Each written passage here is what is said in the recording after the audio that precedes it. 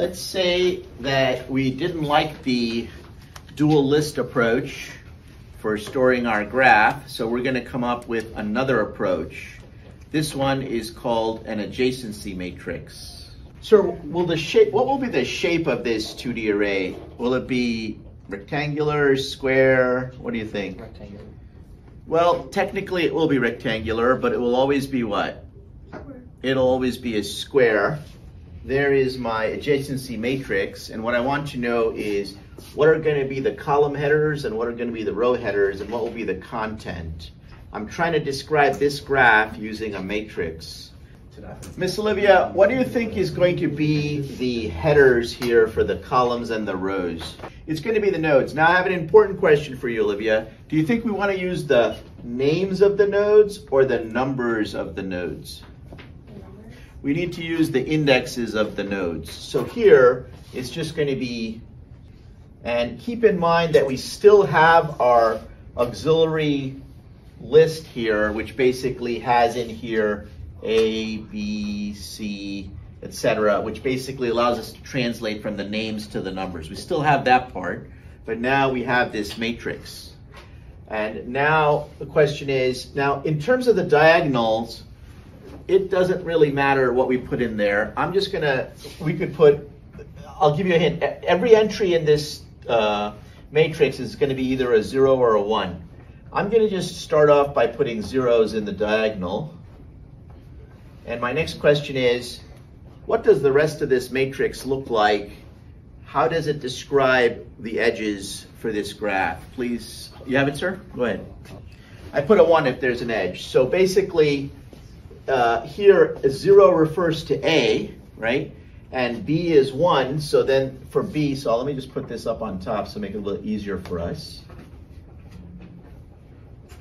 And you can see there's an edge between A and B, so we're going to put a 1 here. Will this matrix be symmetric or not? What would it mean if it wasn't symmetric? What kind of graph would we have if the matrix was not symmetric? Okay, Ben, what would it mean? Complex. There's a particular, okay, Miss Olivia, what am I looking for? Directed. It would be directed then. You said that it would be, it would be not complex, it would be non-simple, you're right but it would specifically be directed. That would mean that there would be an edge this way and no edge the other way. But we're not going to talk about that right now. So we're going to just go back to having a symmetric matrix. And so every single place that there's a one on this side, there's going to be a mirror one on this side. Mr. Mulcahy, sir, if I had a weighted graph like this, let's say put some weights here, five, four, two, 19.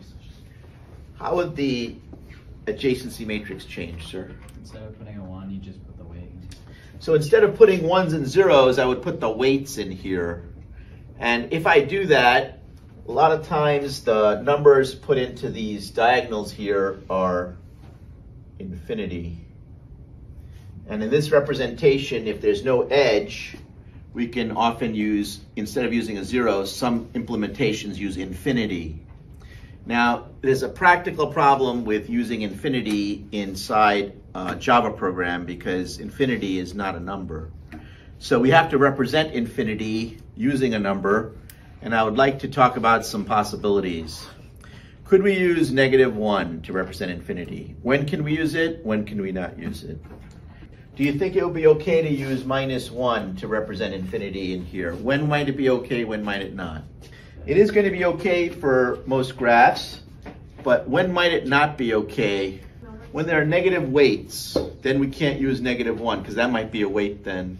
That would be, if you do 0 over 0 inside of Java, you're going to get this thing called not a number. And this is like sitting on a grenade. You don't want to be messing with that. So, but Okay. you can't give an actual infinity, right? So, well, I'm going to go over two other possibilities with you, and I think you'll like one of these. Can we use zero? When can we use zero and when can we not use zero? We can use zero as long as it's not one of the weights. The other number that most people often use is like a really big number.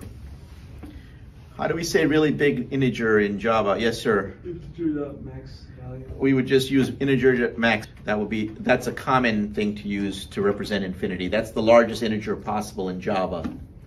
in 32-bit integer. So just keep that in mind when we code this. You are going to get out some paper and pencil and get together with your partner and try to determine the big O for the, the two graph questions I described. So both the speed uh, of those two operations and then also what is the memory usage of this graph. And please try and figure those things out. I want to know the big O of finding all the vertices that are connected to a given vertex. I want to know the big O of how much time it takes to find out if two vertices are connected. And then I want to know what is the big O of storing this matrix. That's the memory part of it. Now this is an important exercise because in co college you're going to have a lot of exams where they're going to give you an algorithm. They're going to say, calculate the big O. So we're doing it on a relatively simple idea here. I want to know how fast is it and how much memory does it burn. For numbers, Okay, so we have this adjacency matrix representation of our graph. And now what we'd like to do is start off by talking about speed. And we want to see if it's got any advantages or disadvantages over the dual list representation that we were looking at earlier. And my first question is, if I want to know how long it takes to find out all the vertices that are connected to vertex, all the vertices that are connected to vertex A, how long is that going to take? So it will be O of n, or if you want O of v, because all I do is I just search this one row. And this row has n columns, because that's how many vertices there are. So you can see that it's going to take O of, uh, and I'm just going to use v here, sir, because I've just used that in all my other, uh, but what you said about n is also correct, okay? So that's going to be how long it takes. Now, if I want to know are two vertices connected, let's say I want to know if E and F have an edge between them, how long will that take? It'll be O of k. Now, this assumes, of course, that the translation from the name to the number on this side is is hashed, and so that's O of k, so that's not going to really impact these calculations here. So how do these compare to the dual list representation we looked at before? It's much better. You see that, right? They're basically, this one is as fast as possible, and this one is still very good. It's dependent on the number of vertices and not dependent on the number of edges. Edges potentially big number, vertices smaller number. What's bad about it? It takes up a huge amount of memory and it turns out that if the underlying graph has a large number of edges, if it's close to complete, this is a great algorithm to use. This is a great representation to use. But if the graph is what is known as a sparse graph, then this is not a good representation because you're using too much memory you're not only storing which edges there are, you're also storing which edges there are not. You see that, right? So now let me give you an example and you tell me if this would be a good representation or not. There used to be this app called Facebook. Now only old people like me use it.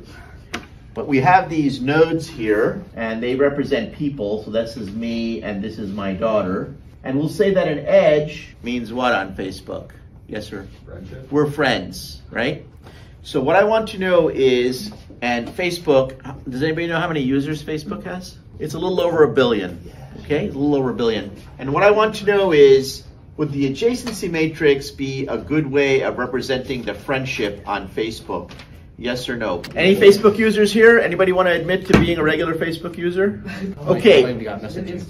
All right. So I would like to know Ms. Teleska, do you think that the adjacency matrix would be a good way to represent friendship in Facebook? It would not. Why? Uh, Katie, if I was to use an adjacency matrix for Facebook friendship, how many rows and how many columns would there be? It will be a billion rows and a billion columns. Calculate how much memory that is. That's like hundreds or thousands of peta petabytes of memory. That's big even by today, huge by today's standards even. So that's not practical. And then what would be most of the contents of the array? Zero. Zero. So that's an example where it will be a terrible application for that.